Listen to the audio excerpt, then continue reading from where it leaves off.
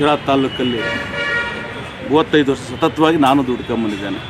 ಇವತ್ತು ಏನು ತಾಲೂಕಿನ ಜಾತ್ಯತೀತ ಜನತಾದಳ ಮುಖಂಡಗಳು ಹಾಗೂ ಕಾರ್ಯಕರ್ತರು, ಅವರು ಏನು ಇವತ್ತೊಂದು ಪಂಚರತ್ನ ಕಾರ್ಯಕ್ರಮ ಯಶಸ್ವಿಯಾಗಿ ನಡೆಸಿಕೊಟ್ಟಿದ್ದಾರೆ. ಆ ದಶೆಯಿಂದ ನಾವು ಒಂದು ಮೂರು ನಾಲ್ಕು ಜನ ಪ್ರಬಲ ಆಕಾಂಕ್ಷಿಗಳಿದ್ದೇವೆ. ನಾವು ಸಹ ಪ್ರಬಲವಾಗಿ ಹೋರಾಟ ಮಾಡ್ತಿದ್ದೇವೆ. ನಾನು ಸಹ ಪಕ್ಷದ ಒಬ್ಬ ಕೆಳಮಟ್ಟದಿಂದ ಬಂದಂಥ ಒಬ್ಬ ಗ್ರಾಮ ಪಂಚಾಯತಿ ಮಟ್ಟದಿಂದ ಬಂದಂಥವನು ಮೂವತ್ತೈದು ವರ್ಷದಲ್ಲಿ. ಆ ದೆಸೆಯಿಂದ ನಾನು ನಮ್ಮ ನಮ್ಮ ವರಿಷ್ಠರಾದಂಥ ಸನ್ಮಾನ್ಯ ದೇವೇಗೌಡ ಕುಮಾರ್ ಕುಮಾರವ್ರಿಗೂ ನಾನು ಪ್ರಬಲವಾಗಿ ಟಿಕೆಟ್ ಕೇಳ್ತೇನೆ.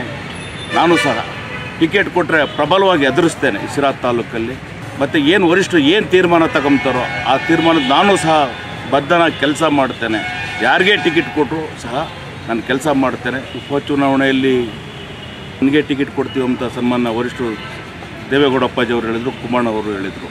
ಆದರೆ ಇವತ್ತು ತಾಲೂಕಲ್ಲಿ ಏನು ಸತ್ಯನಾರಾಯಣ ಸಾಹೇಬರು ದಿವಂಗತ ಆದ ನಂತರ ಯಾವುದೇ ಕಾರಣಕ್ಕೂ ಆ ಫ್ಯಾಮಿಲಿಗೆ ಕೊಡಬೇಕು ಅಂತ ಒಂದು ವರಿಷ್ಠರು ತೀರ್ಮಾನ ತಗೊಂಡ್ರು ಕೊನೆಯ ಕ್ಷಣದಲ್ಲಿ ಕೊನೆಯ ಕ್ಷಣದಲ್ಲಿ ತೀರ್ಮಾನ ತಗೊಂಡ ನಂತರ ಆ ತಾಯಿಗೆ ಕೊಡಬೇಕು.